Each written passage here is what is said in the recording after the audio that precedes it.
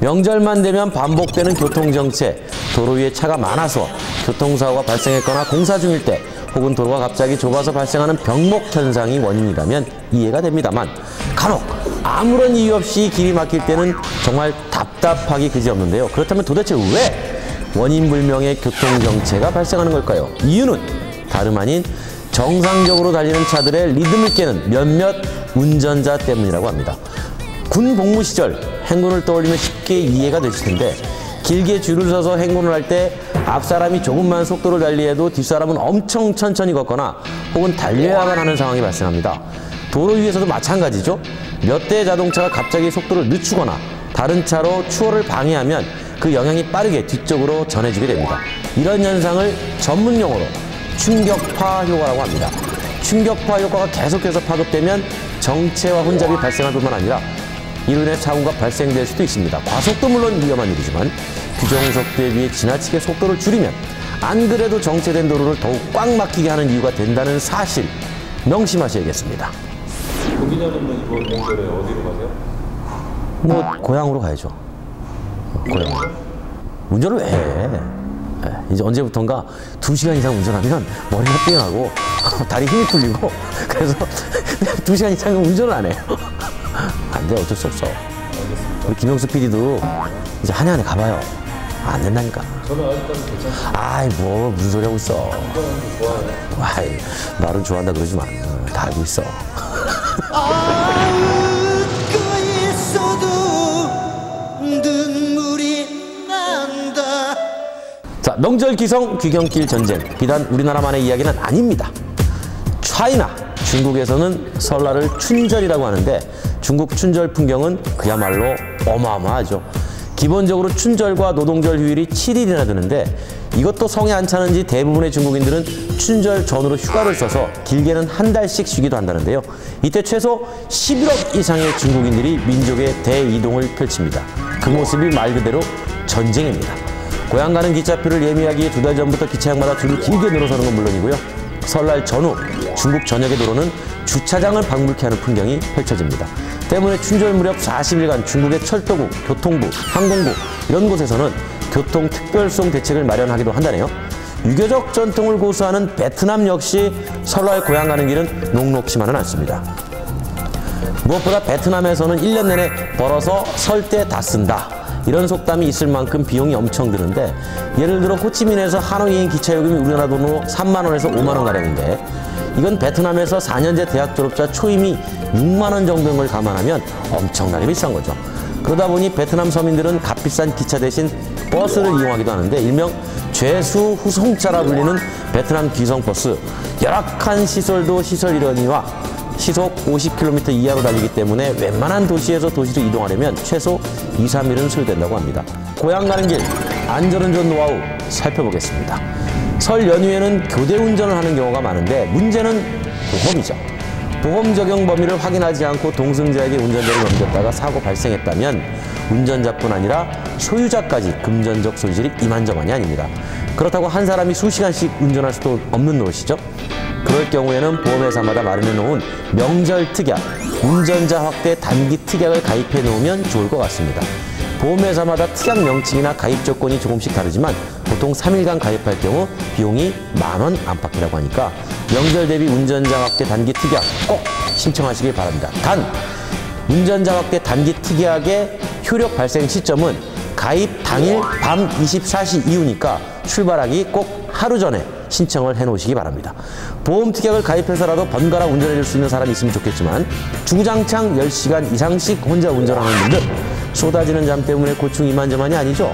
전문가들에 의하면 보통 사람이 2시간을 운전하면 사고 확률이 기하급수적으로 높아진다고 하는데 2시간에 한 번꼴로 10분 이상 휴식을 취하는 게 좋다고 합니다. 또 히터를 너무 강하게 틀어놓으면 차내 산소가 부족해져서 졸음이 올 수도 있다니까요. 조금 춥더라도 히터는 약하게 틀도록 하고요. 장거리 운전 전에 졸음을 유발하는 멀미약, 감기약도 먹지 않는 게 좋습니다. 고향 가는 길 안전운전 노하우 참을 수 없는 갓길 주행의 유혹을 참아내는 것도 있죠. 한 보험회사 설문조사에 따르면 명절 도로 위 가장 꼴불견이 끼어들기, 갓길 주행 운전자가 꼽힌다고 합니다. 남들 다 막히는 도로에서 힘들어하고 있는데 자기만 얌체처럼 갓길로 쌩쌩 달리는 운전자 마음 같아선 한 대 쥐어박고 싶죠. 그런데 갓길 운전 사람들한테 욕을 먹을 게 무서워서가 아니라 엄중한 처벌 때문이라도 하지 말아야겠습니다. 한팔례로 얼마 전 고속도로에서 갓길 운전하다가 적발된 운전자가 있었는데요. 갓길 운전한 것도 모자라서 어쩔 수 없었다는 핑계를 대는 바람에 괘씸죄까지 더해져 구류 3일이라는 처벌을 받았다고 합니다. 날도 추운데 구류 3일 슬픕니다. 보통 범칙금을 몰고 다니는 데 비해서 구류 3일이라 얼마나 얄미웠으면 그랬을까요? 정말 그분은 살고 싶어서 그랬던 걸까요? 엄청 밀리는데 급별이 지금 막 터진다. 아, 그거 요령 있어요. 그 저기 여기 여기 여기 새끼 손가락에서 한 3cm 정도 되는 여기 여기 계속 눌러주면 돼. 여기 계속 눌러주면 어, 급 어, 급 나올 수 있어. 어? 어, 장 운동이 아주 뭐 어? 실제 효과가 있나요? 난급 음, 효과가 있는 것 같아요. 아주 급할 때, 아주 급할 때, 아주 급할 때. 어. 나 지금 급동인데 맞는데 녹화 지금 급동하고 하면 안 돼.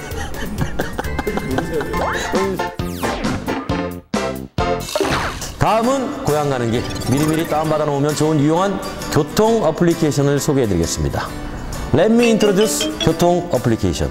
대표적으로 한국도로공사에서 제공하는 무료 교통 앱 고속도로 교통 정보가 있는데 전국 고속도로 40개 구간의 교통 정보를 실시간으로 보여주는 것은 물론이고요. 상황 지도 정보, 노선별 소통 정보, 구간별 CCTV 정보를 실시간으로 확인할 수 있고요. 또한 주행 중인 고속도로의 교통 속보를 받아볼 수 있을 뿐만 아니라 인근의 주유소 위치와 가격도 검색할 수 있습니다. 그 외에 한국도로공사에서 제공하는 또 다른 유용한 앱, 대한민국 고속도로 휴게소 정보 앱도 있습니다. 현재 위치를 기준으로 가까운 휴게소, 주유소, 충전소, 졸음 쉼터를 알려주는 것은 물론이고요. 휴게소별 베스트 음식과 편의시설, 추천 서비스와 추천 조경 등 운전자 구매에 맞는 휴게소 검색도 가능합니다. 그리고 혹시 모를 교통사고에 대비해 미리 다운받아 놓으면 좋은 앱도 있는데요. 바로 교통사고 긴급출동 서비스 어플리케이션입니다. 교통사고 발생 시 신고 요령부터 긴급출동 서비스, 각 보험회사 전화번호 등의 정보는 물론이고 사고 발생 때 형사처벌과 벌점, 범칙금 조회 서비스도 제공받을 수 있습니다. 또 보건복지부가 제공하는 유용한 어플리케이션 응급의료기관 검색 및 응급의료정보 연결, 증상별 응급처치 요령, 독극물 정보 등을 동영상과 문자로 알려주는 응급의료 정보 제공 앱도 있고요. 그 밖에도 장시간 차 안에서 지루해할 아이들에게 좋은 각종 애니메이션을 무제한 무료로 시청할 수 있는 앱을 비롯해서 제사 순서와 차례상 차리는 법, 가족의 호칭 정보를 제공하는 어플리케이션이 다양하게 마련되어 있으니까 미리미리 다운받아 놓으면 좋겠습니다. 명절 때 왜 그 일가족 아, 막 그런 기사들 보면 왜 그런 일이 발생하는지 일단은 뭐 명절 때 가족 단위 이동이 많아서 그런 것도 있겠지만 이게 어떤 심리들이 있냐면 명절 때 제일 교통사고가 많이 발생하는 시점이 정체가 되다가 풀렸을 때입니다. 그러니까 정체가 되다가 풀리면 사람들이 어떤 생각을 하냐면 보상 심리가 생겨. 내가 지금 두시간 걸려서 갈 거리를 밀려서 한시간을더 왔으니까 그 시간을 당기기 위해서 속도를 더 내요. 그때 사고가 가장 많이 발생해요. 한 사람만 그런 게 아니라 대부분의 사람들이 그런 생각을 가지니까 서로 막 경쟁적으로 과속을 하게 되거든요. 이때 한 번 부딪히거나 사고 나면 어마어마하게 사고가 커지는 거죠. 그러니까 마인드 컨트롤 해줘야 돼요.